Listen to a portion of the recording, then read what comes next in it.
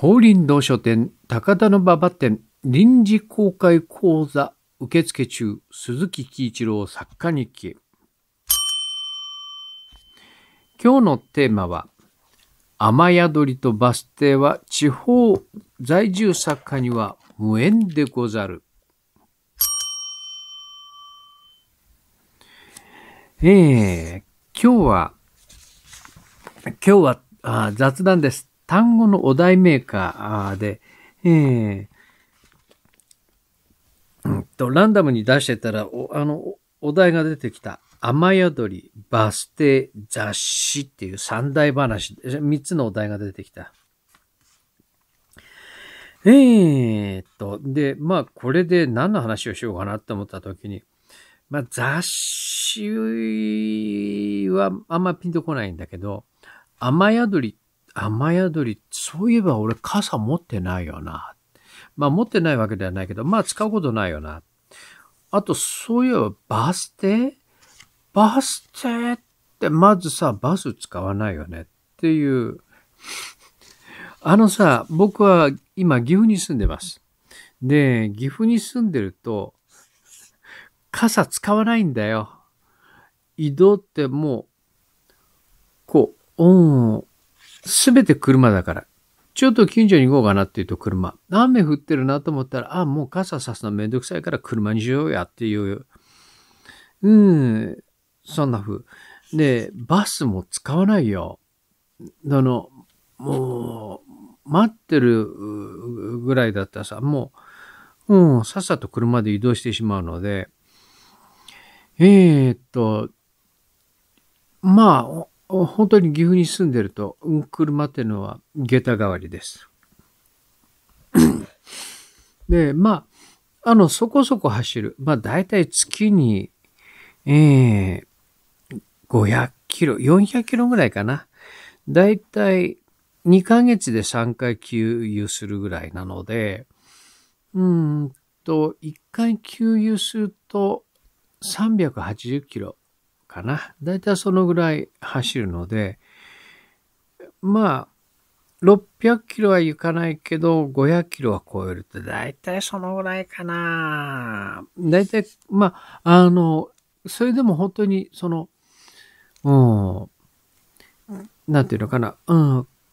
会社をやってた時は営業者の扱いだ、営業者とで、そこはじゃ走ってもらったんで、だいたいこの3倍ぐらい走ってましたけど、まあ今はね、えー、もう、そこまで遠出はしない。毎日とりあえず乗り、あの、うん、ちょこまかと下駄代わりには乗ってて、あの、ちょっと遠出をするとなると結構な距離を走るのでね。うん、あの、う、近所ちょちょっと下駄代わりに走るんだと軽でもいいんだけど、ま、あまあそこそこ走るのと、やっぱり普通車に慣れてしまったので、まあそうすると、うん、こう、やっぱり軽だとちょっとくたびれるので、まあ、今はマツダの、マツダ2に乗ってます。んと、昔デミューって言ったやつね。で、まあ、こう、ん、会社を畳んで、んで、こう、会社を畳むと、その、車の維持費とかっていうのは、まあ全部自分で考え、あひねり出さなきゃいけないんだけれど、その車のランニングコストを考えると、車のランニングコスト、つまり車の、保険だとか、ああ、税金だとか、ガソリン代だとか、うーん、車検代だとかっていうのを考えて、あと、まあ、一戸建てなのでね、一戸建ての、まあ、維持費だとかっていうのを考えると、両方あれこれ足すとさ、結局都内に住んでるとあんま変わんねえよなっていう。都内だったら車いらないからね。ええー、で、都内で、その、まあ、安いアパート借りれば、ええー、あんま変わんないよなっていうのが実感です。で、こう、こうして会社を畳んで筆一本で仕事をするようになって、ふと思うんだよね。こう、いや、はあ、もし、まあ、結局僕は兼業で長いことやって、兼業で24、5年、あ、もうちょっと短いか。兼業で20年ぐらいこの仕事をやっていて、んで、筆一本になって、まあ、6、5、6年ってことはね、もうちょっと長いかな。あ、ぐらいになるんだけれど、ええ、だからまあ、まあ、あの、今更引っ越すっていうか、まあ今更引っ越して都内に行っても、うん、っていうことはあるんだけど、まあもし、その、これが、ああ、デビューした時に都内に住んでてこの仕事をしてたらどうなってたかな？なんていうことは、今振り返ってみると思うよね。で、思うのはさ、まあ3年持たずに消えたよね、都内、都内で仕事をしてたらっていうことは思うな。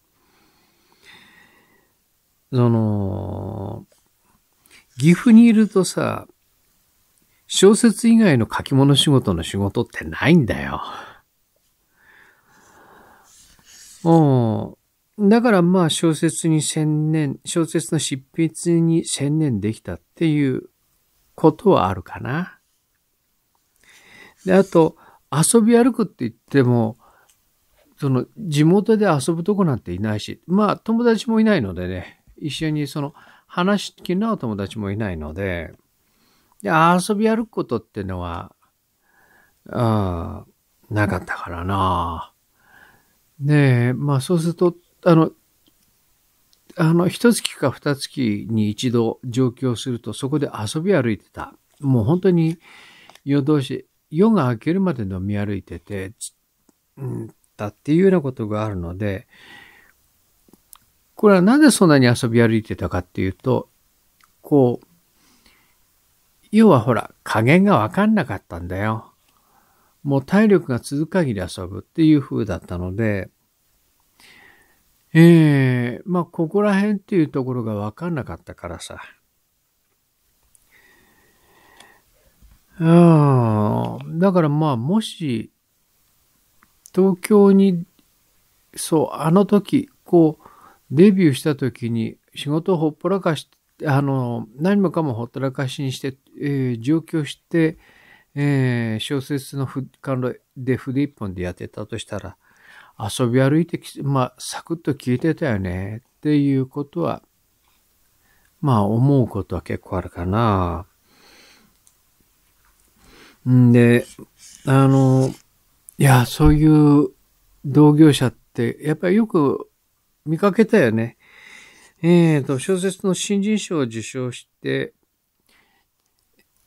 受賞して、んで、まあ、サッカー気分にちょこっと浸り。で、そうす、あの、上京してるとさ、ああ、小説の新人賞を作ることでよって雑誌、あの当時だから雑誌だとか、ああ、書き物仕事の、その、こう、書き物仕事の、お日銭で入ってくる仕事が、あパパッと入ってきて、インタビューだと、インタビュー仕事だとか、その注文仕事をちゃちょっとこなして日銭を稼ぎ、えー、そうやって日銭を稼いでるうちに、まあ、小説書かなくても食っていけるよね。小説みたいにその一銭にもなるかならないか、ボツばっかり多いようなところの仕事をやっているよりも、とりあえず、ライター仕事やってれば、まず書いてなきゃお金になるしっていう、そういうふうに仕事に、日銭仕事の仕事に、日銭を稼ぐ仕事に追われて、えー、小説を書かなくなって、やがて消えていくっていう、だいたいそういうケースが多かったよなまあ、まあ、そういうことをよく見てましたな。ねえ、あの、時々、小説家の志望者、小説家志望者から、地方在住のね、小説家志望者にから受ける質問で、東京にいないとプロになれないんでしょうかっていうような質問も受けます。んで、それ岐阜に住んでる人間にさ、その岐阜に住んでて、もうあの何十年とやってる、この仕事やってる人間に、その質問するか、する、その質問する前にさ、お前自分で考えてない時点でさ、まずこの仕事向いてるかどうかわかるよねっていう。まあ、なんで、あの、俺が答えになってるだろうって思うんだけど、まあ、うん。そういうことはもうね、で、まあ僕は地方に住んでて、岐阜に住んでたからこそ、まあとりあえずなんとか持ちこたえたのかな、なんていうふうに、今になってみると思うよね。ええー、まあ、まあそういう点で言うと、あの、小説家は本当に、